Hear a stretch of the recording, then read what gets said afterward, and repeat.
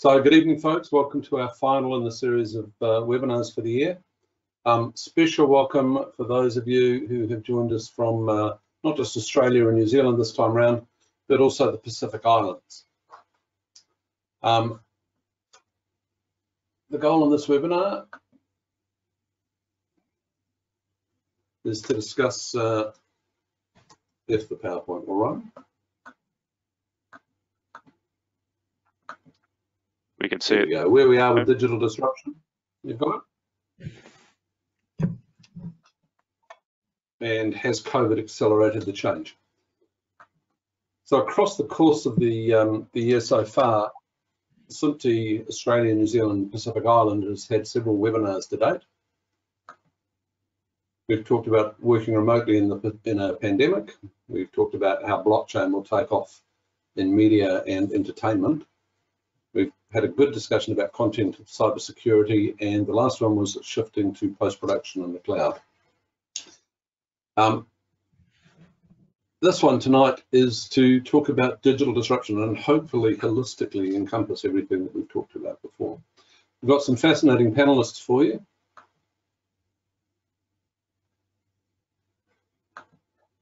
There's myself at the top there, then you see Mike Strein. Mike is the Director of Engineering and Technology from the ABC in New York. Um, he has sent his apologies in a way. He is with us in spirit. Uh, we pre-recorded his session uh, earlier in the week because right now it's 2.30 in the morning over there. Um, but trust me, he really brings an, an amazing insight into life in a very disrupted world. So Mike is the Director of Engineering and Technology at the ABC in New York. Our second guest is uh, Matt Eaton. Matt's the Managing Director for Europe and the Middle East and, uh, and Australasia for GrayMeta in the UK. Um, he's not only a, a, very smart and intelligent futurist, in my opinion. Uh, we worked a few years ago at Sky. He's been down here a couple of times. He's also not a bad bloke. Um, very kind of you, Dave. Cheers. Pleasure. Um, the third person in our little chat uh, room tonight is uh, Paul. I'll just uh, bring up the, the, pictures. So Paul Broderick is uh, past president of SMPTE Australasia or uh, Australia.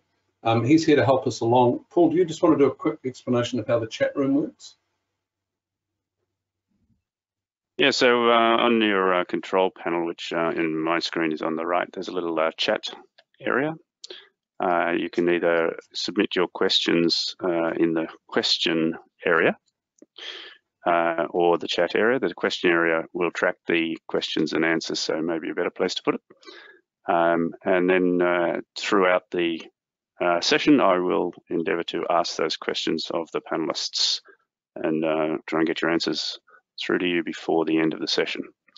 So they'll be intermingled through the session um, or there'll be a, a, time, usually a time available at the end of the uh, webinar. Thanks, David. Yeah. Okay, and also Mike's not with us, but I've tried to ask him some vaguely intelligent questions. Um, not sure how well I got on, but we'll soon find out. But please don't uh, be concerned if you if there's anything you really want to know. If you can put it in the chat, we'll put it forward to Mike and and uh, pass it on, pass on his emails. So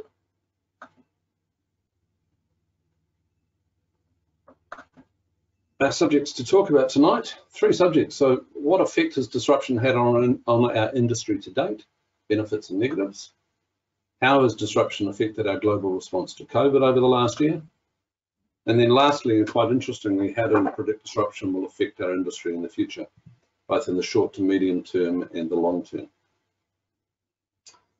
So quickly, for those who, I'm sure most of us do, but just to recap for those who aren't quite sure what we mean when we talk about disruption, what is it? Well, the first probable disruption we all remember, or we don't remember, but somebody banged two rocks together and created a spark.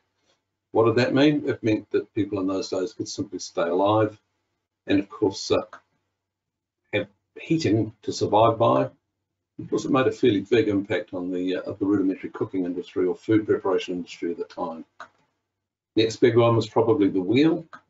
Again, think about what this meant to the transport industry and the hunting industries at the time. And of course, the spark and the wheel combined, and along came the combustion engine, and everything changed. Of course, then the Wright brothers came along and things changed again. Not so much this year, but previously. So transport, tourism, hotel industries, everything got shaken up all over again. So then in the last couple of decades of the 20th century, along came this thing called digital disruption. First came the personal computer, then the internet, we had cell phones, and we had uh, uh, laptops and, uh, sorry, um, tablets and laptops and PCs, and it grew and it grew and it grew, and then we had data centers come along.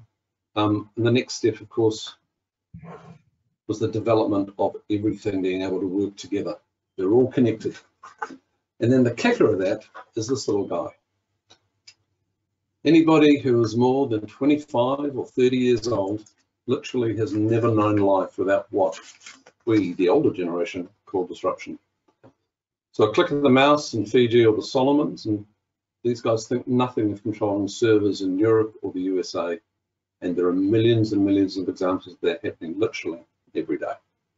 So that is disruption and digital disruption, hopefully in a nutshell.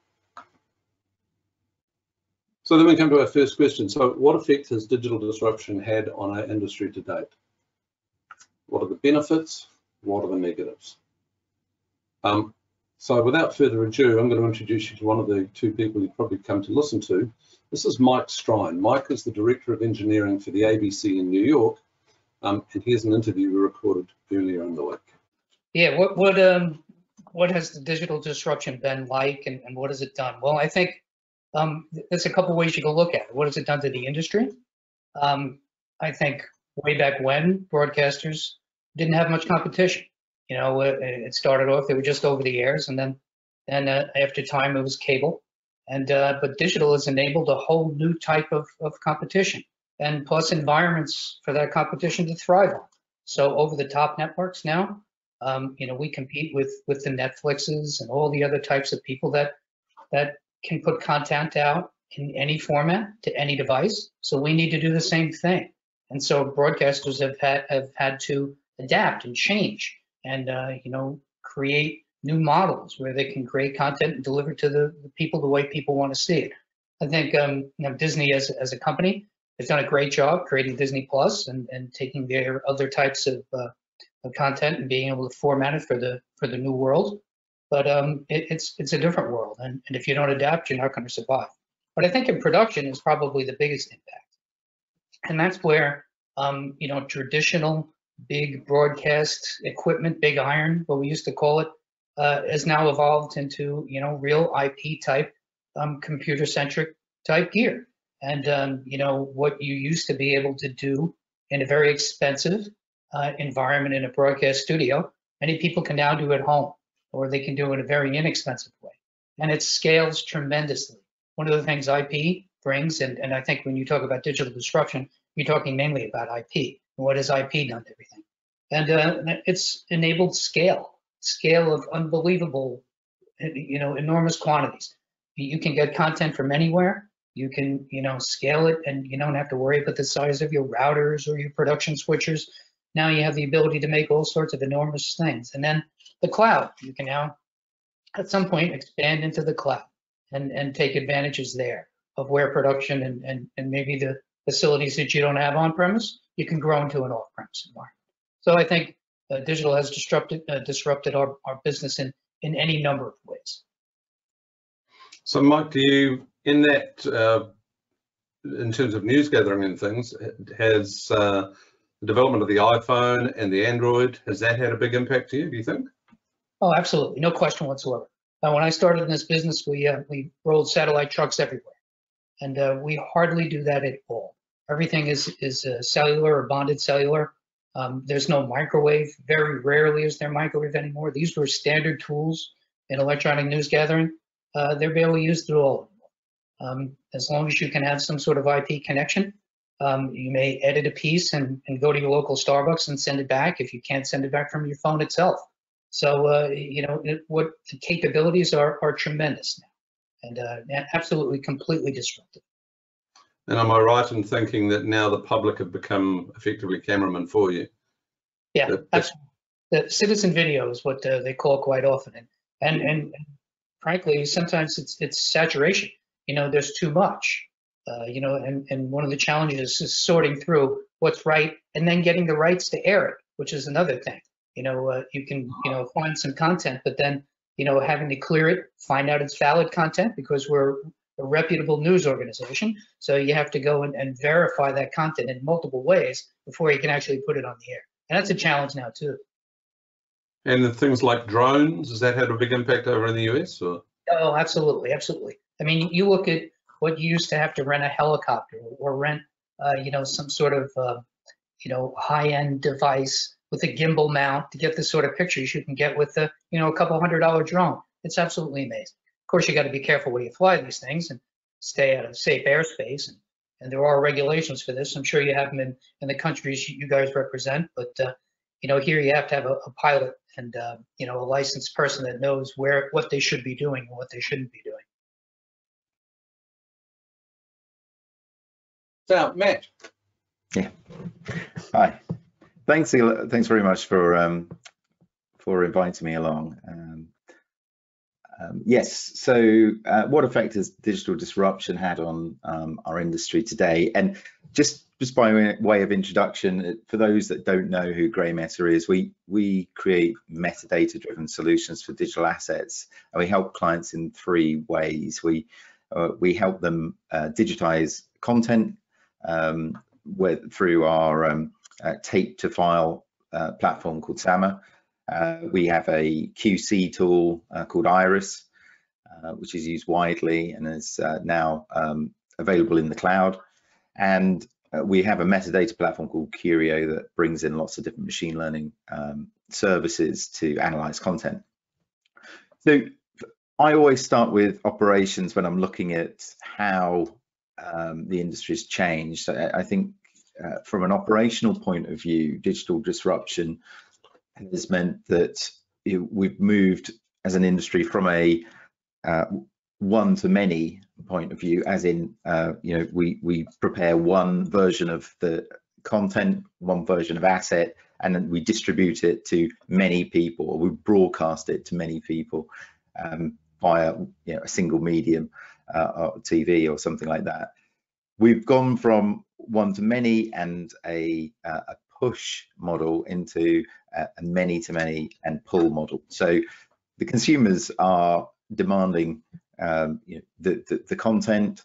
We are uh, preparing many versions for that to be played on a huge number of different devices. And that's fundamentally changed the way that operations work and also the way that the, the technology has to, to be set up in the background in order to uh, deliver that content to all those different uh, users.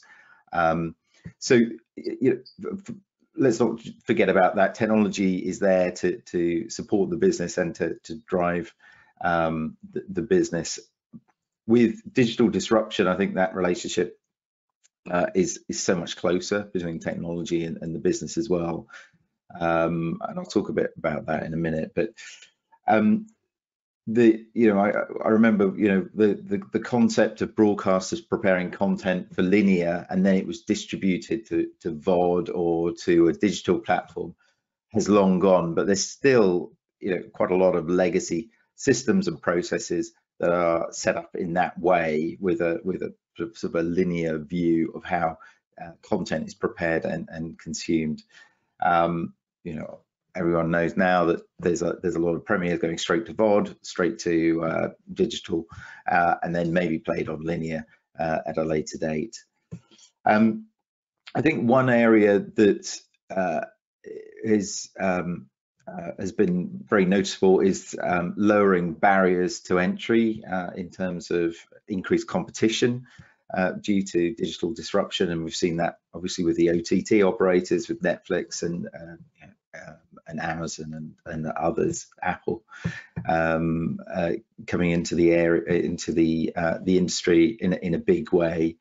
Um, it means a huge choice for the for the consumer. So I think the, this digital disruption has been a, a great positive um, thing for the for the consumers, where they've got a huge number of um, um, uh, content. I mean, content has never been uh, as varied and as, as, as invested in as it is today.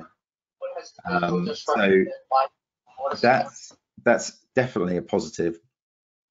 I think one other aspect to to think about is data, um, the the importance of data of um, content data, where GrayMeta works a lot, but but also consumer data and knowing you know what the consumers uh, are, are, watching, um, their preferences, and this can be seen in terms of recommendations, personalization, um, but also decision making around you know what content uh, should be acquired, what content should be produced, um, how am I going to retain those those uh, consumers and reduce churn? So I think I think data is a is a huge part of digital disruption.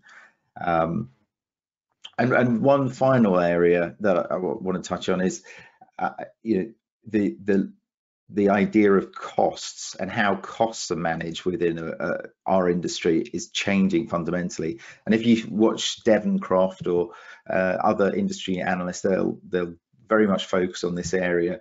You're moving from a fixed cost model to uh, a more OPEX model. You know, where you in the past you had um, hardware that was depreciating over you know three, five, seven years um, and there was a cycle of procurement, um, you know, matching that depreciation. That's that's very much changing, moving to an OPEX model where um, you know, services um, systems can be subscribed to.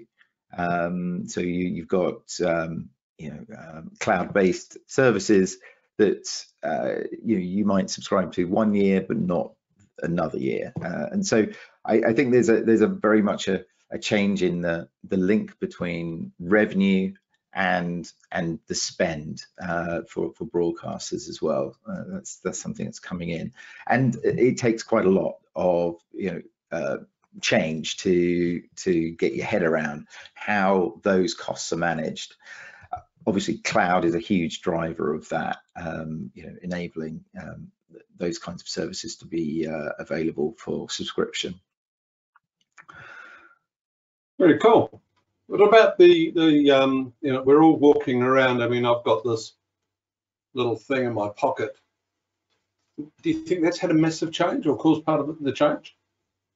Uh, yeah, absolutely. Uh, the um, the fact that most consumers have you know more technology in their pockets than you know some broadcasters in in their uh, you know um, in their back office is is incredible. Yeah, so um, I, th I, think delivery of content to those those platforms is is one aspect, but also analyzing what they're doing. Um, you know, and I think it comes back to data and and making sure you understand you know, how your uh, consumers are interacting with your content uh, obviously, that those um, devices also allow you to um, you know, allow the consumer to to interact more and, and to feedback more. So whether it's sharing you know clips on uh, uh, or, or, a hashtag or a comment on Twitter or um, that kind of thing. Um, that that's that's really important. Um, and then you've got you know e-gaming and, and and things like that where you know people become broadcasters themselves. So you, you know platforms like twitch um, you know they're becoming platforms for you know consumers to broadcast on. Um, and i think um, you know this this kind of camera the quality the video uh, and audio you've got citizen journalists feeding um, content into broadcasters, you know, from um, different events that that were not possible in the past as well. So, you know, it's it, it's a, it's a huge part of digital disruption. Cool, thank you. Sorry for the uh, throwing you in there so suddenly at the start. Okay, um, Paul, have you got any questions for Matt?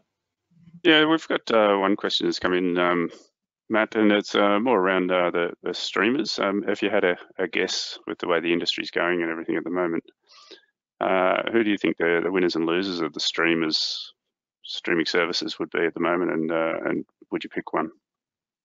Um, I I it's it's more than my job's worth to to to pick uh, individual um, companies. But um, one thing I would say is that um, in order to thrive and to, to to win in this environment, data is absolutely critical, and um, the winners will be uh, well. Sorry, there's two two parts. Data is really important. The other the other important part um, is is content and um, you know if you've got the best content and content is still king uh, in my opinion but data is still is is a prince if you like. Um, i think combining those two together is is absolutely critical. They are linked you know knowing what to uh, invest in in terms of production it, um, you know is is is why they're using uh, the data.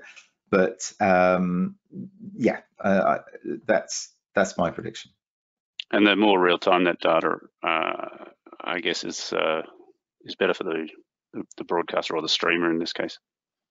Absolutely, absolutely. The um, the the fact that I, I, I think collecting data is one thing, but um, analyzing it, combining it with other data sets, and acting on it um, is is the real differentiator. Um, you know, I, I think the, um, the, the, the, the, the, there is a huge difference between um, just just having the data and and then actually, you know, putting your, your money where the data is. Um, uh, so yeah. So one of the things we've seen in the market um, in the past, and this has been going for some time, is that with um, soap operas. You see uh, current affairs slowly drifting into a soap opera. It might be days, weeks after the event. And with uh, reality TV, we're seeing uh, public perception and public discussion starting to influence how those types of programs are run, you know, in in the day, the following day, or maybe a couple of days later. Do you see those um, things coming closer together as as they get more uh, access to live data and starting to influence the programs in a shorter time frame? Uh, yeah, the the only the only thing I'd say is that that's a bit of a double-edged sword because it does date um, content very very much as well. Uh, so you've got um, um, you, know you want the immediacy um, of uh, you know and relevance um, of, of uh, a piece of content, but also it, it, it, places it in a historical place. Uh, you know, it depends on on what the content is, I suppose, but um, uh, yeah, we, we, can we can see we've seen that happening with COVID um, quite a lot. Um, and I think the other thing is that you know content uh, can be more personalized, and uh, we're, we're seeing this with short form content happening. This concept of hyper personalization um, of content, the the fact that you know, yeah, I may like golf and I uh, like fishing or something like that, and I'm served up an ad that appeals to uh, my preferences and my hobbies. Um, you know, I think in the future that's that's something where certain types of content um, in in long form can also play. Um, and you know, I think you've seen this um, somewhat in uh, um, BBC R and D have done some work around, you know, that that kind of hyper personalization of of content um, for viewers. So you know, I, th I think that's where we'll, we'll see it playing out.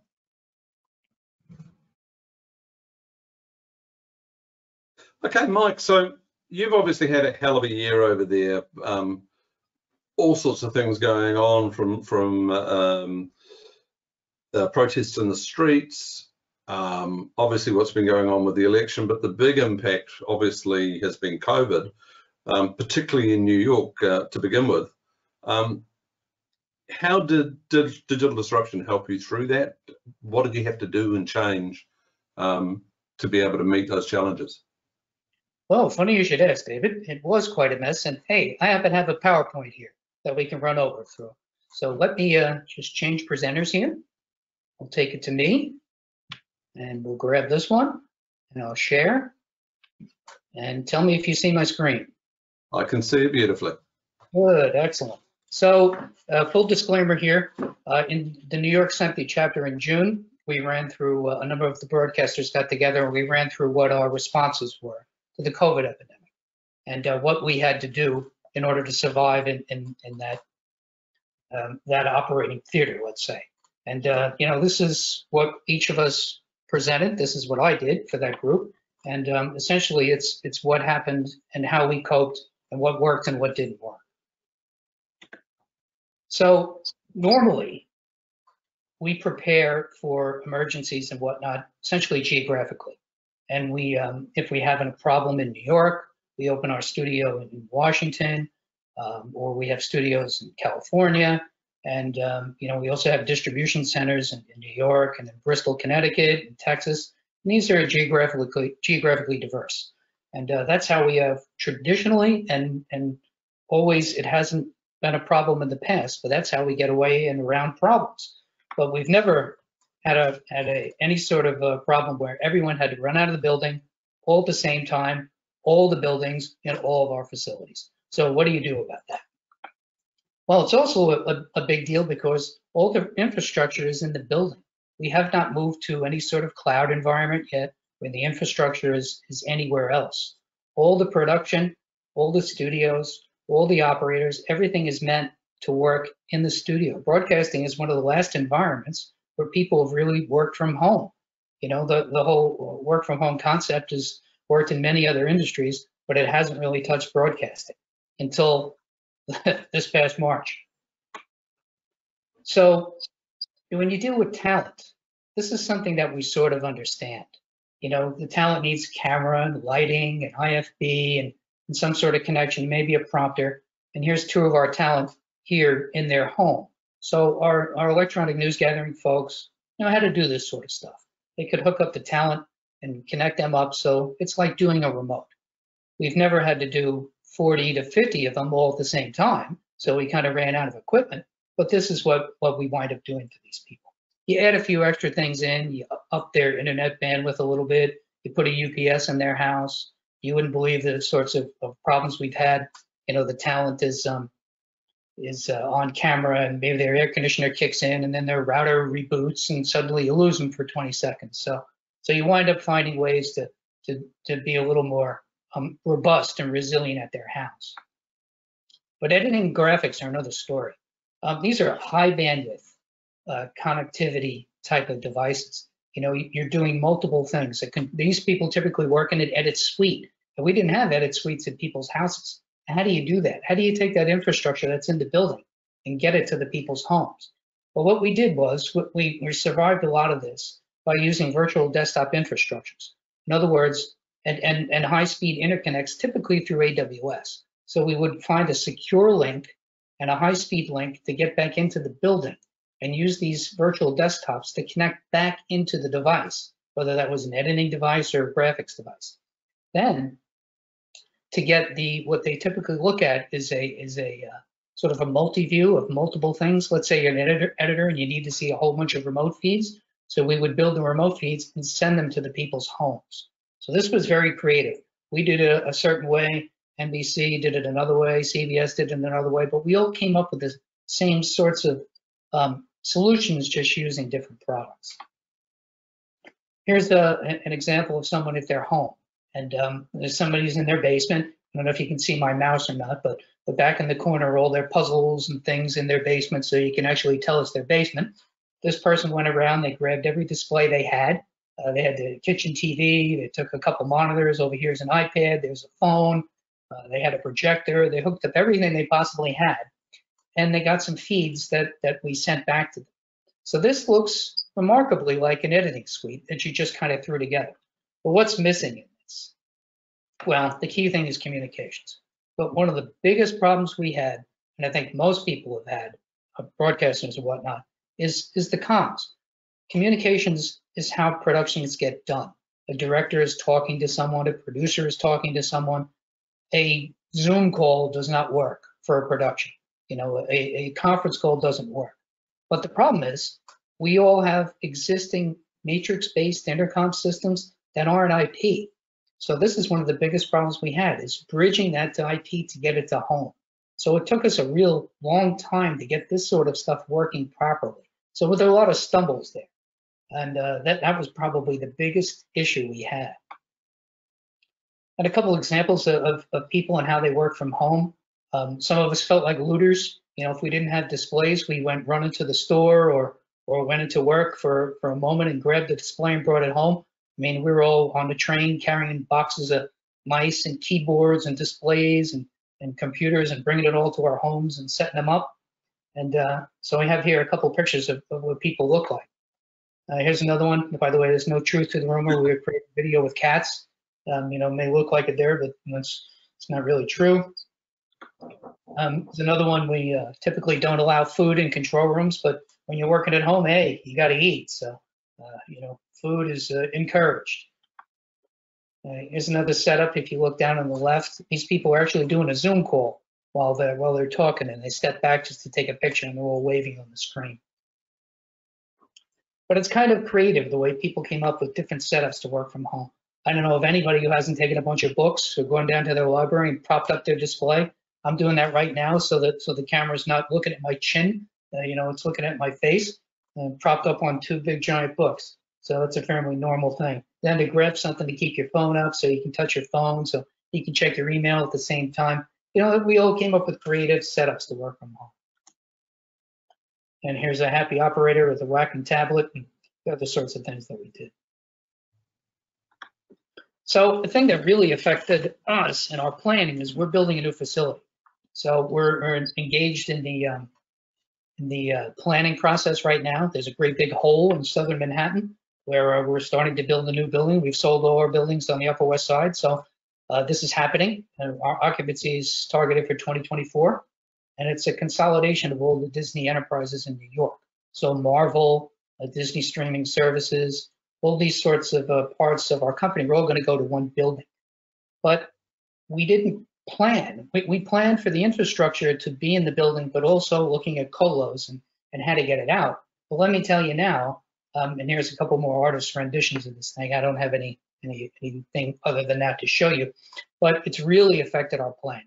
And how do we plan such that the operator's environment can be the same from home as it is in the facility? So it's essentially identical. And uh, that's a lot of what we're going through right now and how to create that. And uh, another part to that is um, earlier this year, just before COVID started, uh, uh, I and a colleague, Carl Paulson, we wrote a um, what, what a hybrid facility could look like. And this was before COVID. And I, I can only tell you that it's done nothing but accentuate the fact that this is where we need to go. So if you're a SMPTE member and you get the journal, you look at June, then there's a, which June happened to be the audio edition for some reason, but they put our, article about uh, essentially how to grow into a cloud facility in that in that journal, in that journal uh, issue. Anyway, um, that's my little presentation. So thank you. Uh, any questions you got? I, I, wish I was live with you folks, so probably some things you could ans ans uh, ask and I could answer, but I'm glad to take them from you.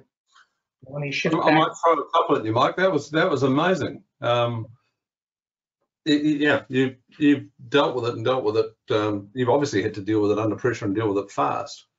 Um, question for you though, how did you, so you're obviously technically competent, you can set up your own stuff reasonably well and, and your engineering staff can too. What about your operational staff and your presenters? How did you handle the install for them? Yeah, yeah, that's a that's a great question. Uh, we sent a lot of people out to folks' houses, especially the talent, and and you'd be surprised.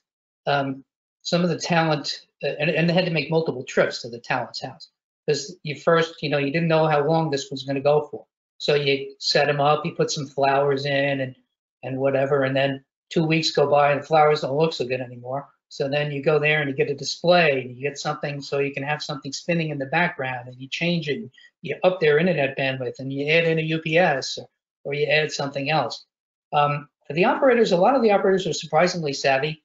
Um, we had to get them the right equipment. So we either, you know, ship things to their homes and we wind up booking a lot more services. Excuse me, booking um, you know, things to connect through AWS or or bumping up people's um internet bandwidth and stuff. So there was a lot of those kind of follow-up things. So it wasn't just an overnight, and it was to get it started, then keep it going from there. So on that installation, I mean, obviously, so you've gone for this remote control model. How long did it take you to to come up with that model? How how quickly did you start your um, your installations? Oh, it was immediate. It's basically over a weekend. Um, we had to sit there and say, how are we going to do this? We have to get everybody out of the building. New York essentially shut down. I mean, they, uh, you know, they, they told everybody, if you're not, and you had, matter of fact, they passed out these letters. If you didn't have a special letter that said you were a key, uh, you know, essential employee, such as a first responder, you couldn't come into the city. And um, so some of us got those letters if we had to work on the equipment. News was was recognized as an essential uh, first responder, and um, you know we would get the gear and deploy it to people's homes as quickly as we can. There was a lot of sleepless nights for the first couple of days, absolutely. And uh, some of the operation teams were just amazing in, in, the jobs that they did. And that's not just ABC. We, we, all the New York broadcasters did that. And I'm sure a lot of those things happened uh, across the world and, and in your environments as well. Yeah, I think though you're much more because of just the population density, um, it becomes a huge, uh, a much much bigger issue. You got any idea how many remote installations your teams would have done? Yeah, we have uh, over 80 um, editing and graphics uh, installations, and we have between 50 and 60 talent installations. That's not that we have 50 and 60 talent. It's that some of the talent has multiple places. there's a some some fairly wealthy talent you might imagine has one has a you know a summer home and out by the pool house and their apartment in New York, so there might be uh, you know multiple installations for them. We won't name any names. okay, and then from uh, my background, which is play playout or what you would call, I think, MCR in the states, how did you deal with that? Was that uh, did you did you try and go for that remote, or was it bringing in teams in um, uh, secluded groups. So when you say play out, do you mean play out for news environments or play out for, uh, let's say, primetime television shows? Uh, let's well, start with primetime television shows, but then let's come back to news as well. Yeah. So your transmission group, did that stay yeah, centralized? So we, we remoted, we, I, I got to tell you, most of what we did was secure, but there were a few things where we had to cut corners security wise. And, um, you know, some of that was, was how we get in to control the switching, especially how we distribute to our affiliates through satellite and whatnot. So uh, we had to remote into systems to do some of that. We had some key maintenance people that never left the building. Uh, as I said before, communications, that was a key element. Um, my comms guy never left the building. He, has been there the entire time. We never got him any time. Um, so some key people were there, some key play out, um, but a lot of the manipulation the editing, the insertion of commercials, the packaging of, of, of things could be done remotely. Um, some of the news programs could be aired remotely.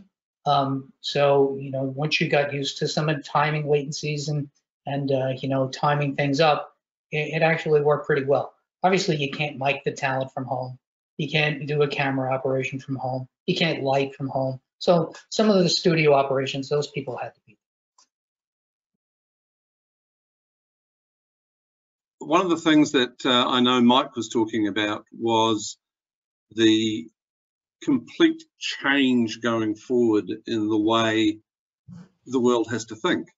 So they're in the process of building um, a very large facility in the middle of Manhattan, um, which they're in the design stage. Uh, and I hope I'm not misquoting them, um, that there will be multiple um, broadcasters sharing that facility all under the same banner.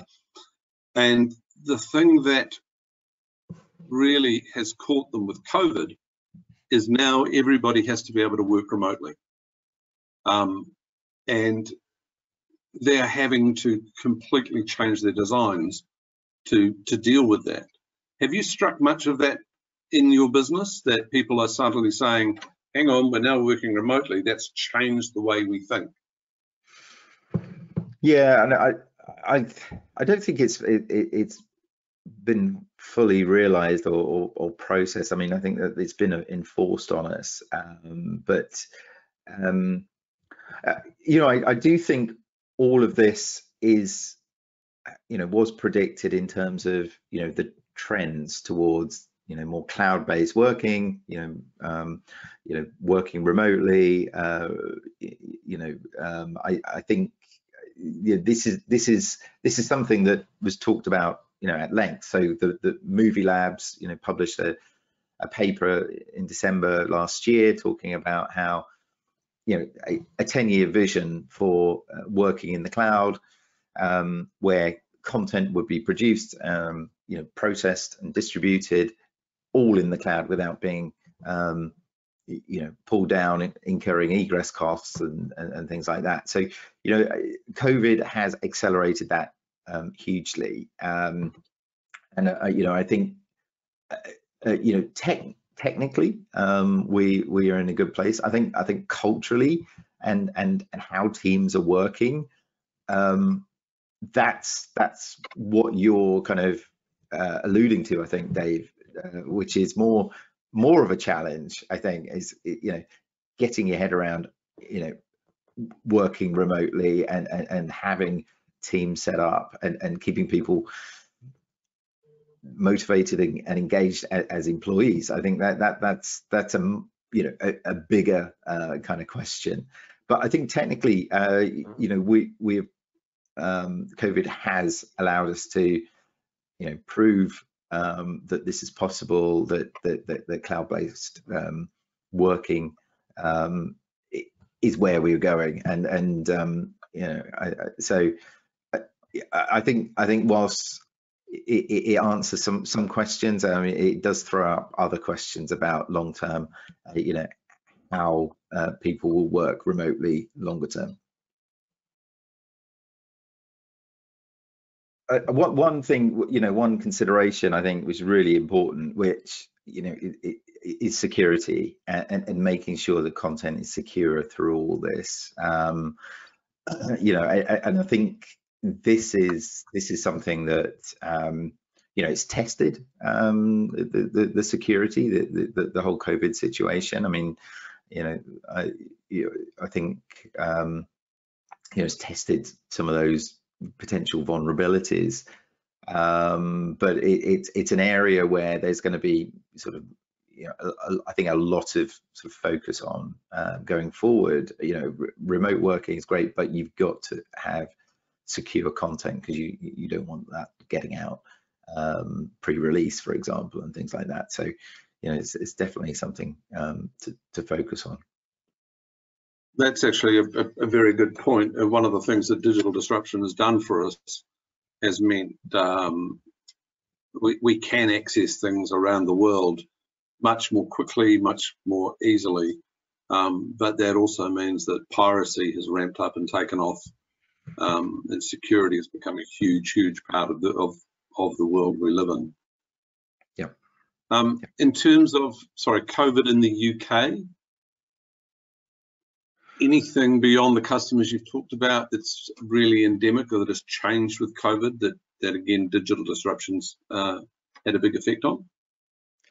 I'm sorry if you mentioned before, I was no, desperately no, trying I, to. I, uh, think, I think, yeah, I think yeah, I mean, I, I just go back to, I mean, I think it's remarkable how, um, you know, companies have continued um, you know in in uh, you know to do the you know, what they do. I, but the uh, you know i think i think arrow media is a good example where you know they've been working with remote editors and and and you know the, the missing component was metadata you know how how can i find my content? They already had their content in the cloud so they in many ways they were already ahead of of some of their competitors.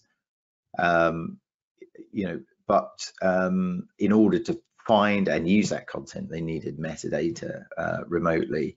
And they innovated very quickly. Um, you know, they, um, you know, changed processes, uh, changed um, some of the systems, um, and uh, you know, within, and we're talking within, you know, a, a few weeks, they were able to uh, work very successfully uh, remotely. Um, so, you know, I, I I, think um, you know there's been a lot of uh, new ch changes brought about, you know, very very quickly, um, but um, you know they, have sustained and and they've they, you know I, I, I think that's a, that's a really important part of digital disruption as well. I, you know, the, these incremental changes and improvements rather than a six month long project to to, to migrate to a new uh, you know pr process or new new system. Uh, that's you know it's a much more agile approach uh, to change has been enforced on us because we don't have the time. Um, you know, and I, th I think that requires a bit of a cultural change within the organization. Um, but um, you know, from our customers' point of view, they've, they've all worked um, very well to do that. So, Mike, here we go. First question then. How do we predict digital disruption will affect our industry in the future, both short to medium term and long term? And I appreciate it's future gazing, but where do you think this is going to take us? Well, that's quite a challenging question. Um, I would say we're going to go in the same direction. It's just going to explode all over. I mean, the, the, what the cloud has now done and what COVID has accelerated. I mean, the, the ability for us to work and, and, and we've used the cloud as a as a mechanism to get back to the infrastructure in our facilities. Pretty soon we'll be using the cloud to, to create and do everything like that.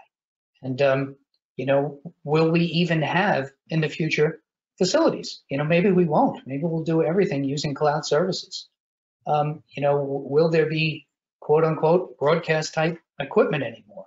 You know, maybe we'll um, maybe all this stuff will, will will be the same as what consumers use. So I, I think that the capabilities have, have come down such that the consumer has the same. But I mean, when I say consumer, I mean you know just about anybody um, has the same capabilities and, and tools in their grasp to create content that you know high-end people can. So it's bringing these tools to the masses um, that has totally disrupted our industry and has disrupted most industries. So I think, um, yeah, the, the, the cloud is a production mechanism, but also as a distribution mechanism. So you know why, you know, you you can almost create your own network now, create your own TV channel. I mean, you see that on YouTube. They don't have the viewers um, that established broadcasters have, and maybe they don't have the credentials, but maybe they will in the future. You know, uh, who knows? It's a wild, wild west out there, Frank.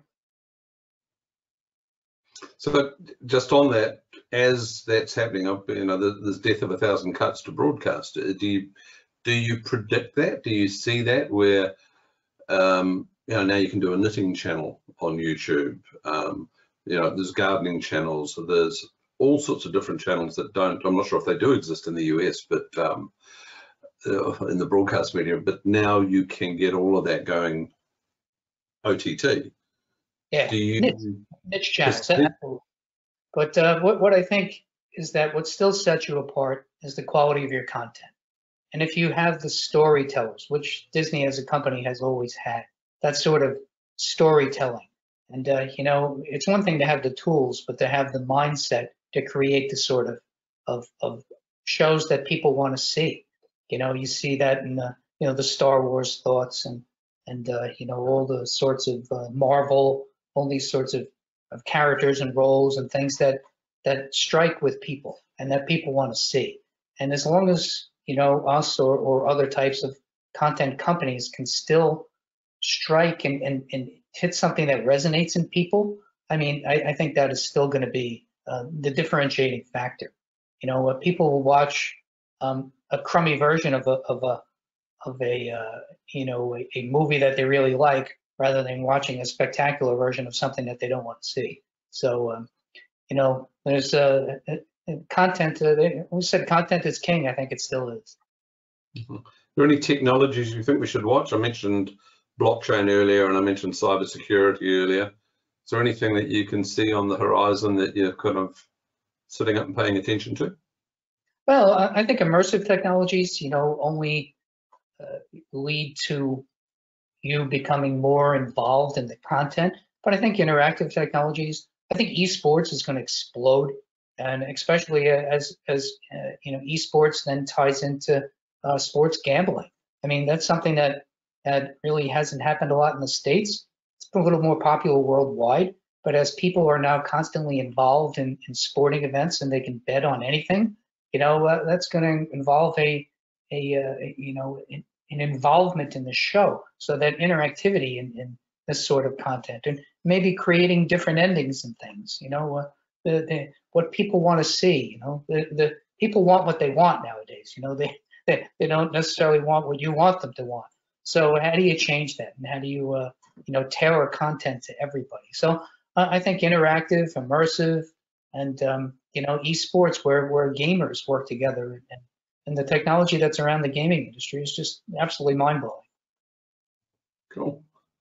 Okay, well, that's us, I think. Um, I, we'll, we'll move on and and uh, and talk to the other guys about what they've got to say. But thank you so much for the time you've spent, uh, Mike. You really have opened our eyes, I think, and uh, from everyone around Australia, New Zealand, and the Pacific, come on down and see us. We'd love to have you. It's my pleasure. I was in Australia in, in January. Love to come back, and uh, hopefully we'll get the world a little bit safer for travel, and we can do it again. Brilliant. Thanks for your time, mate. You got it. Thank you.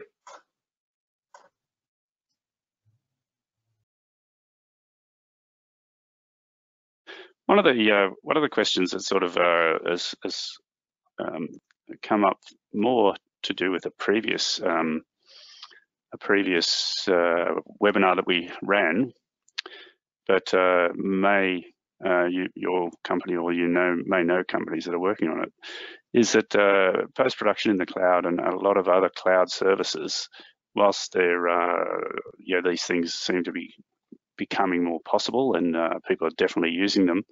And uh, as you say, a much more agile approach, being able to change things very quickly. The one thing that uh, it seems to be a little bit elusive is uh, the bill shock at the end. It's that uh, they, whilst they can set these things up quickly and get things running quickly, you've absolutely no idea how much it's going to cost. Uh, is is there anyone in in the industry working towards a um, like a little rate card type thing that works on uh, Microsoft or uh, AWS or something like that that can give you some sort of indication of what your what your costs are going to be, like a little app or something like that that uh, runs in the background. Um, it's um, I think I think it's part of changing um, your you know the broadcasters sort of uh, competencies and, and knowledge. I mean, it, it, it, just in the same way that uh, you know you, you, companies will need to become more aware of the compute they're using and be able to predict those costs and and you know to to forecast. Um, you know the the cloud does does allow you to um, uh, to burst and to to handle um, at scale, you know, content at scale. But but yeah, you you need to pay for it. So you, so planning and um, and uh, is a huge part of uh, you know a uh, you know a cloud-based operations. I think. Um, mm. What we what we heard at, uh, on one of our and sorry you probably weren't in on on that session, but was um, that the the major broadcasters and uh, streaming companies, the streaming companies are probably more au fait with it than the broadcasters, um, would have access to an IT team that could actually do that forecasting and stuff in the background, whereas a smaller post-production company who just want to take advantage of this type of technology may or may not have access to those sorts of resources. So they're sort of left a little out, you know, yeah. more at risk, if you like, because they've got you know smaller bank balances and uh, less knowledge, so they're more exposed. So I just see there's a bit of a gap in the uh, in the market there. Whereas uh, if you've got a great big IT department, sure you can do all this research and work all this stuff out. If you're a small post production company, you're going to take a punt and it could send you bankrupt. Yeah, no, I, I, I, it's a really important point. I mean, I, I think what I think vendors are starting to um, pick up on this. I mean, one, one thing that we do in terms of our pricing for um, uh, for our machine learning service platform, for example, is to you know to create that predictive pricing uh, for them uh, based on a you know a, you know a, an agreed volume, um, a monthly volume that you know as long as you're going to be doing 50 hours you know a month or something like that, then you know the, here are the costs. And um, you know, I, I think it, it's up to you know vendors to to help um, address that as well um, as, as, as much as possible. Um, I, I, know a, um, you know the, the, the cloud providers uh, are there to you know that they want to drive consumption and and will only be too pleased to talk to people to to help um, predict um, but it is uh, a new way of working that you know is fairly technical that you know people need to be aware of um, but um, you know yeah it's it sort of comes back to i think a point you were saying at the beginning uh, was that you move from a, more of a capex model to an opex model. Yeah. Um, I think there's a bit of maturity that needs to be brought into uh, you know, some of these big technology companies as to somehow helping the small player in uh, working out what their opex might look like, as you say. So, think, yeah. There's a little bit more work to do, I think, collectively as a you know the technology providers. Yeah, I, and I, I think digital disruption, as well as you know in, in, in some ways it makes certain job roles uh, obsolete. So, you know, no longer maybe a tape librarian, but, you know, a they are more of a, a, a digital content curator. Um, you know, it does change roles uh, within an organization. And I think one really important role uh, the digital dis disruption brings around is, is the whole DevOps uh, role, uh, understanding, you know, where you know a traditional IT department might uh, you know have that knowledge uh, and an awareness, I think, of APIs um, and how to uh, join up different systems to to work together to create new solutions. I think that that's that is something that um, uh, I think is critical to, to to to making the most of digital disruption. I believe. Um, mm. So I think new roles need to be created sometimes. Yeah, and I, I see, uh, yeah, for these smaller players, there's certainly an opportunity there for, uh, for someone to start thinking about how to plug that gap. I think one thing that's uh, come out of this discussion is that metadata is uh, extremely important, and probably the uh, the more you gather and the the earlier you gather it in the in the process, uh, the more you've got to play with to actually um, uh, manipulate or or um, or structure and steer the outcome that you're trying to achieve.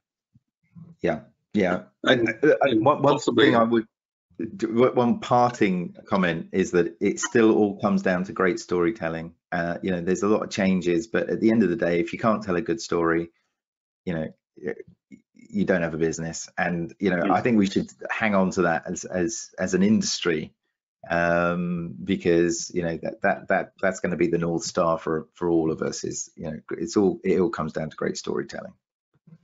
Yeah, the content is king. I've heard that so many times in my career. Yeah. Right. Well, thank you, folks, um, and huge thanks to you guys. Um, and we'll get that out to you. The rest of it out to the, either by way of another webinar or um, or email or putting it into the recording and let you know because uh, I'm sure you'll enjoy it. Thanks again. Thanks, Matt, and look forward to seeing you down here again sometime. Thanks. Look forward to it. Thank you for inviting me. Cheers.